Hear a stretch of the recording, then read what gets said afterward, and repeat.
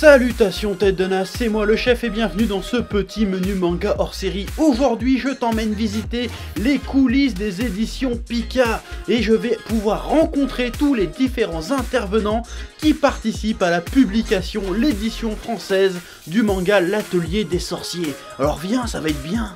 Ouais. Bonjour, check. Euh, c'est toi Pika du coup? Non, moi c'est Clarisse, euh, je travaille pour Pika et je m'occupe des relations de presse. D'accord, ok, je te suis. Donc voilà, bienvenue chez Pika. Ça a l'air grand, est-ce que j'ai le droit de faire un tour? Ouais. Trop bien, j'y vais.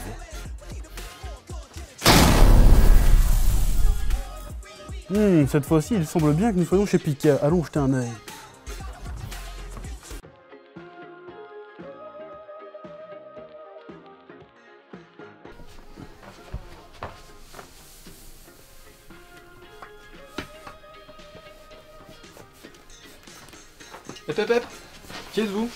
Faites dans mon bureau Je suis le chef, et vous qui êtes-vous Bah, Mehdi Benraba, directeur éditorial de Pika.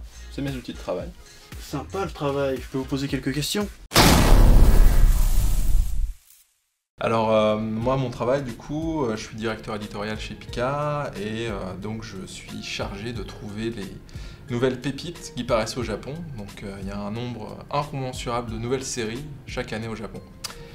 Donc, c'est un vrai travail de euh, spéléologie, je dirais, pour, euh, pour trouver les, bonnes pépites.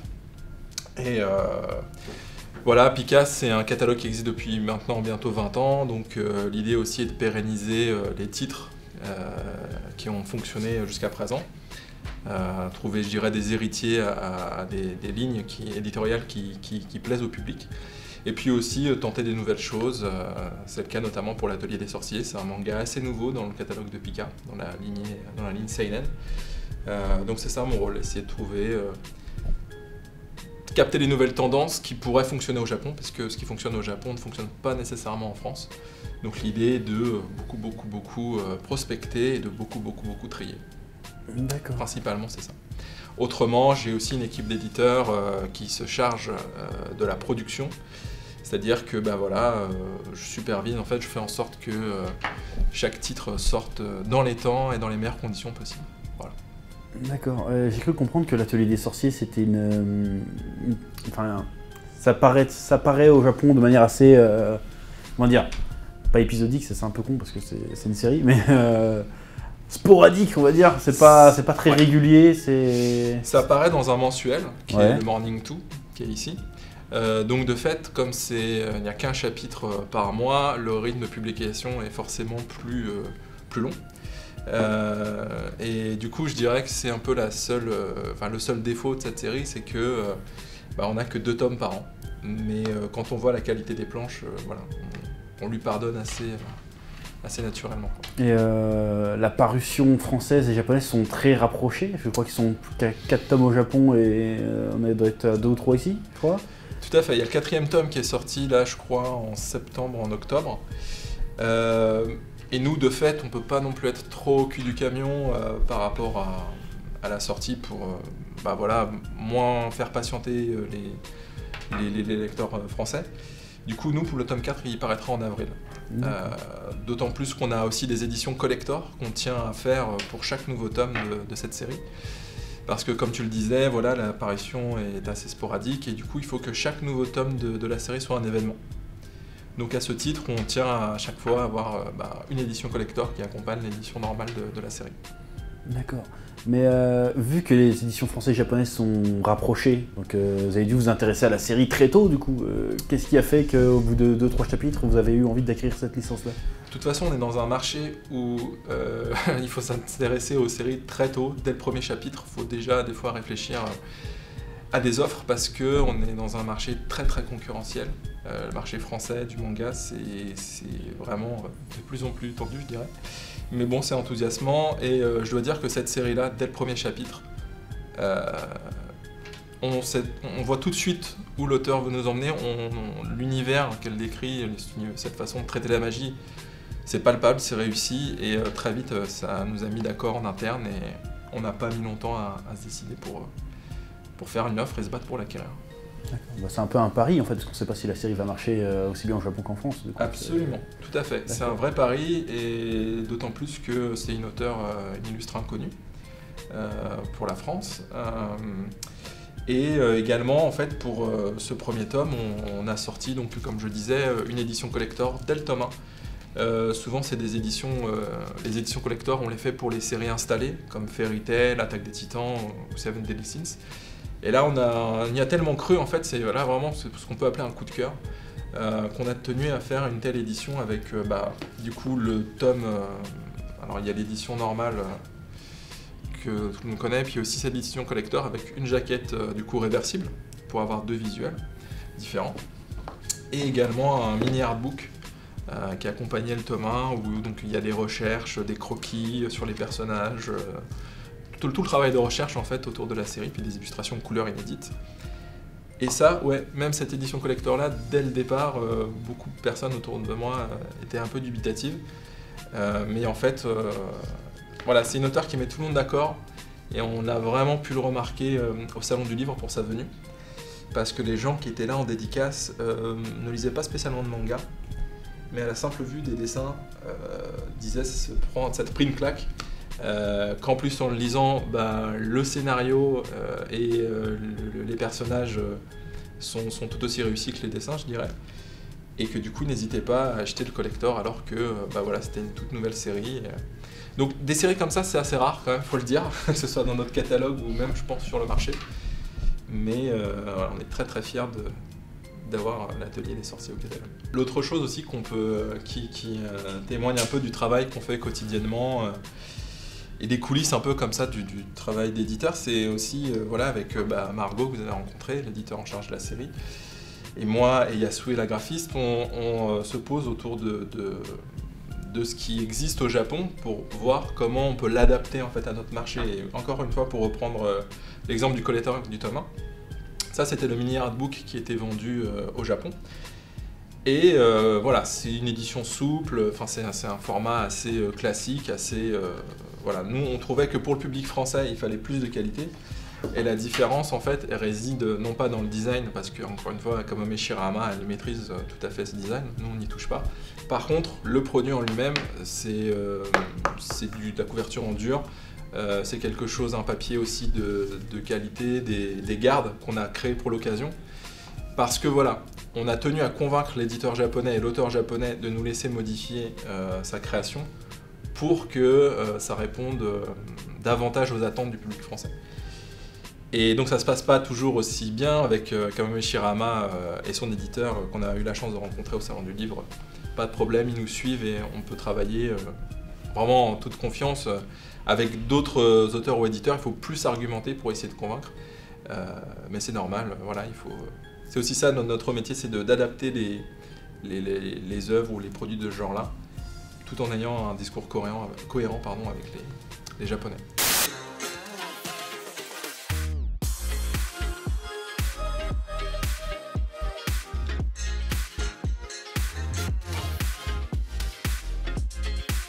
Euh, monsieur, excusez-moi, euh, je peux vous aider peut-être?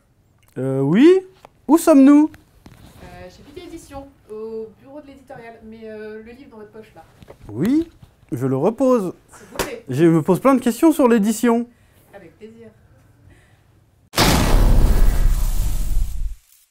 Euh, bonjour, je suis Margot, je travaille au service éditorial de Pika Édition depuis 5 ans. Et je suis donc l'éditrice en charge de l'Atelier des Sorciers. Bonjour, je m'appelle Fédois, je suis traductrice euh, indépendante. Je travaille pour Pika Édition depuis euh, 14 ans. Et pour Pika, je traduis euh, Seven Deadly Sins, L'Atelier des Sorciers, Chihaya Furu, Yuki Holder, Kakapo Sakura, Claire Card, et je crois que c'est tout. Oui, tout à fait. Euh, donc en fait, une fois que notre responsable éditorial a acquis une licence, euh, on- il se charge aussi de trouver un traducteur. Donc là, en l'occurrence, c'est Fédois. Voilà. Donc une de nos meilleures traductrices. Oh, oui, bien sûr. Donc moi après le directeur éditorial m'écrit et voilà, me propose le titre et puis euh, moi après je vois ça, je dis bah oui, oui, forcément, je le veux. Donc à partir de là, j'établis un contrat euh, donc pour Fédois. Et une fois qu'elle reçoit son contrat, elle se, je lui envoie le volume euh, VO qu'elle traduit. Voilà. Moi, je prends le volume, je le numérote. Voilà, j'ai toutes les bulles, 1, 2, 3, 4. Pareil avec les onomatopées. Et ensuite, je reporte euh, chaque texte sur un fichier Word. Je mets un, après le texte en français. Et tout ça pendant des centaines de pages. D'accord, ça doit prendre beaucoup de temps alors. Ça dépend des, euh, des mangas. Pour un, un titre comme Atelier, qui est pas, pas difficile au niveau du texte, mais où il y a un univers très riche, où il y a beaucoup de recherches à faire, euh, oui, ça, ça peut mettre euh, entre 4 et 5 jours. Ah ouais. Pensez, ça pue. Mais je pense que ça dépend des Mais traducteurs. je vais assez vite. Voilà, c'est ça. Ouais, c'est Parce que je pense que ça dépend des traducteurs. assez soutenu. Et du coup, elle doit être validée la traduction ou c'est confiance totale? Bah, en fait, c'est là que j'interviens de nouveau. Donc, euh, Fedoua me renvoie ce fichier Word euh, avec un index qu'elle Ouais. prépare. On met euh, tous les noms des personnages, les lieux, le lexique. Alors le lexique, hein, bah, pour, euh, pour atelier, il est assez conséquent. Parce qu'il y a plein de petits termes à adapter, vraiment spécifiques. Voilà, donc elle m'envoie ce texte Word. Moi, je le relis. Euh, je fais de, la préparation de copie, comme on appelle dans l'édition. C'est-à-dire que je, balise le texte de façon à ce qu'il soit après euh, mis euh, en maquette par un retoucheur, ce qu'on appelle un retoucheur, qui va se charger d'in- d'incruster les textes dans les bulles et euh, apporter des retouches graphiques, notamment sur les onomatopées, et en les sous-titrant ou en les retouchant. Les retouchant, c'est-à-dire qu'il va les effacer et les remplacer. Donc, euh, en dehors euh, de cette préparation de copie, je fais aussi une relecture au cas où euh, voilà, il y a quelque chose qui me paraît bizarre. Étant un spectateur extérieur, euh, souvent on peut faire des remarques au traducteur pour lui dire euh, écoute, je, comprends pas, je, comprends- je ne comprends pas trop ce passage. euh, Changer une tournure, voilà, pas faudrait- claire. voilà, est-ce qu'il faudrait peut-être adapter pour un public français? Parce que souvent, quand les traducteurs ont tendance parfois à rester trop proche du texte japonais, donc nous on lui dit il faudrait peut-être voilà, reformuler, ou alors voilà, typiquement ils oublient un texte. Donc on lui dit t'as oublié l'ono A de la page 140. Voilà. euh, voilà. Ça, ça arrive à chaque volume. hein. Voilà, mais en même temps, il y en a qui sont toutes petites, enfin, c'est c'est compliqué quoi. Donc voilà. Donc une fois que moi j'ai relu ça, euh, ensuite donc je lui dis ah, tu dois très bien, tu as bien travaillé. J'ai un sucre. Voilà, Voilà. c'est ça, tu étais bien sage. Et euh, du coup, ce texte Word, je vais l'envoyer donc à un retoucheur, ce que j'ai dit tout à l'heure. Euh, ce retoucheur, euh, je vais lui aussi lui envoyer euh, les images euh, japonaises. Donc euh, les Japonais nous, for- nous, euh, nous fournissent les images euh, nettoyées, c'est-à-dire sans texte, euh, totalement vierges. C'est bien ça. Oui, ça c'est bien, parce qu'avant, il fallait, euh, dans les anciens mangas, il fallait que le retoucheur nettoie toutes les pages et tout ça, donc euh, ça prend moins de temps. Voilà, donc euh, je lui envoie les images et on lui donne à peu près 4 semaines pour retoucher le livre, c'est-à-dire pour le mettre en page et pour, le, pour intégrer les textes. Une fois qu'il a fini ce travail, il me le renvoie encore une fois, et moi, comme un bon inspecteur des travaux finis, je repasse encore derrière. Euh, je vérifie qu'il a tout bien fait, qu'il a bien retouché ce qu'il devait retoucher, qu'il a bien intégré les textes sans en oublier, au bon endroit. Et euh, là aussi, c'est un moment où euh, je peux un peu réécrire aussi le texte euh, pour que. bah, souvent, les traducteurs ont tendance à. Parce que le français prend plus de place que le, Oh oui. que le japonais. Et les bulles japonaises sont petites et surtout elles sont étroites, comme ça. ils écrivent de haut en bas, donc c'est pas très adapté au texte français. Donc c'est à ce moment-là que moi j'interviens en réécrivant, en allégeant un peu peut-être parfois la tournure Mm. pour que ça colle mieux à la taille de la bulle et qu'elle ne soit pas surchargée de texte. Voilà, et une fois que ce travail est terminé, euh, je le donne à un relecteur qui va relire une dernière fois le, livre pour être sûr qu'on ne laisse pas passer de coquilles, parce que à force de relire toujours les mêmes mots et tout ça, il arrive forcément qu'on laisse passer des coquilles et, des, mots collés ou ce genre de choses. Et en parallèle, je le renvoie à Fedoua. Comme ça, je fais moi aussi une dernière relecture. Des fois, euh, il m'arrive de changer des, petites, euh, des petits détails dans le texte parce que soit j'ai j'ai lu la suite du, du manga et je me dis ah mais en fait là il vaudrait mieux modifier ou sinon juste euh, j'ai eu d'autres idées entre temps. Voilà. Et une fois que c'est terminé, donc euh, j'intègre les corrections de, de toutes ces personnes. Et euh, bah, le, le livre est prêt à être envoyé en impression. Et donc euh, je fais un petit PDF que j'envoie au service fabrication et qui et après ce petit PDF va partir en impression. D'accord.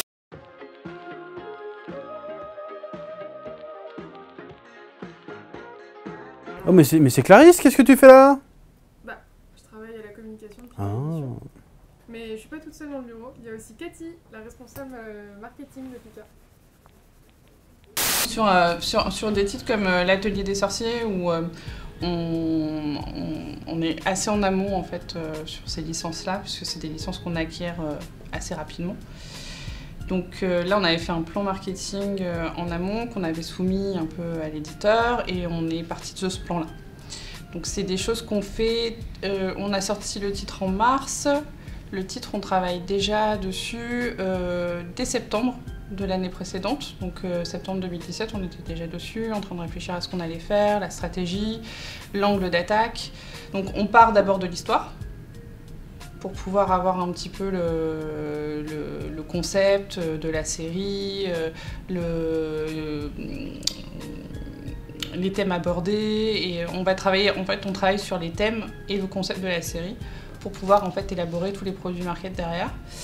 Évidemment sur des licences assez fortes, dont on sait qu'elles vont être assez fortes, on met déjà vachement le paquet. Donc ça part euh, d'abord de l'élaboration d'une PLV euh, qui est euh, adaptée à la série, avec notamment la sortie à la fois du volume 1 normal, mais de l'édition collector, donc la mise en avant des deux éditions dans la même PLV, avec un design de PLV qui, met en lumière le titre, et sur ce titre-là, vu qu'on était vraiment sur la magie, on a beaucoup aussi travaillé tous les petits produits annexes à offrir aux, clients. On a commencé d'abord par les ex-libris pour le volume 1. Et sur le volume 2, on est parti sur un produit qui était la petite plume dont se sert Coco pour, pour créer ses sorts dans ses petits cahiers. On a vraiment travaillé aussi beaucoup. C'est vrai que sur, sur une série comme l'Atelier des sorciers, le gros avantage, c'est que le visuel est tellement beau c'était assez facile de créer euh, des outils marketing et euh, de la promotion. Donc on avait fait des petites silhouettes, mais c'est pareil pour la PLV, on vous donnera euh, des petites photos. le, titre est tellement visuel que ça permet d'avoir une très belle présentation en librairie du, titre. Ensuite, on a beaucoup, beaucoup travaillé sur tout ce qui est réseaux sociaux, la communication en amont. Donc à la fois le teasing sur l'annonce de la sortie, qu'on a fait en novembre 2018. Et ensuite, on a fait des teasings euh, vidéo avec des petits trailers euh, qu'on a mis sur les réseaux sociaux et sur notre chaîne YouTube, et ensuite euh, qu'on a passé à la télé. du coup, quand vous faites des salons, est-ce que c'est compliqué de faire venir des auteurs japonais en France pour des dédicaces, ou ça se passe comment? Ça se passe comment? Euh, Alors, soit ils viennent euh, voilà, dans le cadre d'une invitation comme ça pour célébrer leur série, soit ils viennent à l'occasion de la sortie d'une nouvelle série. Donc, c'est le cas pour euh, l'Atelier des sorciers. Et dans ce cas-là, bah, c'est très simple. je fais un planning et puis je discute avec l'éditeur japonais pour savoir si ce planning convient à l'auteur. Ensuite, euh, je m'arrange pour que sa série soit bien mise en valeur euh, directement sur le stand, en, mettant le stand aux couleurs de cette série. Pour l'atelier des sorciers, voilà, on avait tout un décor, on avait aussi une petite tente euh, pour que l'auteur puisse dédicacer, parce qu'elle voulait pas trop qu'on puisse la prendre en photo depuis l'allée, donc elle a dédicacé dans sa petite tente. je m'occupe aussi des, animations. Donc là, on avait fait un photocall costumé avec tous les personnages, enfin les deux personnages principaux de l'atelier des sorciers. Donc euh, ça a vraiment beaucoup plu à l'auteur qui a fait des dizaines de photos euh, costumées dans ses personnages. Et voilà. Est-ce que euh, d'un tome à l'autre, est-ce que la stratégie évolue à chaque fois ou faut repenser à zéro entre chaque tome ou c'est toujours la même recette qui est appliquée Alors c'est vrai que sur, en marketing on essaye de voir ce qui a marché. Parce que c'est sur des séries un petit peu qui, peuvent aller euh, être au long cours comme celle-ci où on ne sait absolument pas combien il va y avoir de volume. On essaye d'avoir une stratégie un petit peu au long cours, on regarde ce qui a marché. Donc euh, là pour le volume 4, typiquement qui va sortir l'année prochaine, on va changer un petit peu la stratégie puisque de départ on était parti sur les petits exibris qu'on trouvait très jolis, très graphiques, mais qui marchent moins bien que les petits goodies comme la plume auprès du lectorat. Et donc on aura une surprise pour la sortie du volume 4 euh, et dont on espère euh, qu'elle plaira euh, au lectorat de l'atelier des sorciers. On essaye toujours d'innover et d'essayer de trouver des choses qui collent à l'univers de la série et qui peuvent plaire au public français. Sachant que au Japon, il y a beaucoup de choses qui sont faites aussi autour de ces séries, que ce soit l'atelier de sorciers ou d'autres qui sont sortis chez nous. Mais parfois, c'est pas du tout adaptable à la France, soit parce que les produits sont hyper chers à produire parce qu'on n'a pas les usines juste à côté comme le Japon euh, qui produit en Asie, soit tout simplement parce que euh, bah, c'est pas du tout adapté en termes de, produits pour un français, parce qu'il n'y a pas cette utilité comme un japonais pourrait en avoir. Euh, euh, notamment, je pense, au Japon, ils font des pochettes coins format A5, un petit format comme ça. En France, euh, on n'y voit pas du tout l'utilité. Nous, si c'est pas du A4, euh, tu peux pas mettre ta feuille de cours, euh, ça n'a aucun intérêt. Donc on adapte au fur et à mesure. Typiquement pour l'atelier des sorciers, il y a eu des adaptations aussi sur les éditions collector. On, essaie de s'adapter et, d'évoluer et on communique éno- énormément sur les réseaux sociaux et sur ce titre-là typiquement on, est- on communique beaucoup sur Instagram puisqu'on a une cible assez féminine. Il y a énormément de photos des- de l'atelier des sorciers, beaucoup de personnes qui font des photos très très jolies, euh, très graphiques, euh, à la fois des livres, mais aussi de la tenue, de plein de choses. euh, donc on travaille beaucoup sur, sur les nouveaux réseaux sociaux, les nouvelles tendances en fait, euh, en fonction du ciblage de la série. Là c'est une série très féminine, donc plutôt lectorat féminin, donc on y va. C'était vraiment une très longue journée, une très bonne journée. J'ai pas vu le temps passer, il fait nuit dehors. Bah, du coup, j'espère que cette vidéo t'aura plu. N'oublie pas de t'abonner, de laisser des pouces bleus et tutti quanti. Et moi, je te dis à bientôt pour de nouvelles aventures. Je m'en vais par là maintenant. Au revoir. Merci, Pika.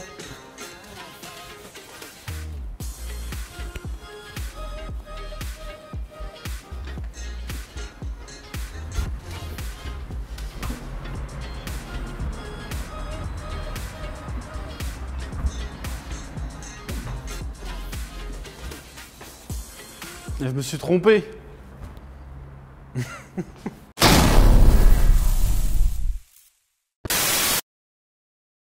Eh oh, tu vas pas te barrer comme ça, hein? Tu vas laisser un pouce bleu. Un petit pouce bleu, hein? Puis tu regardes aussi les autres vidéos. Parce que voilà, tu t'abonnes. Ouais. Ouais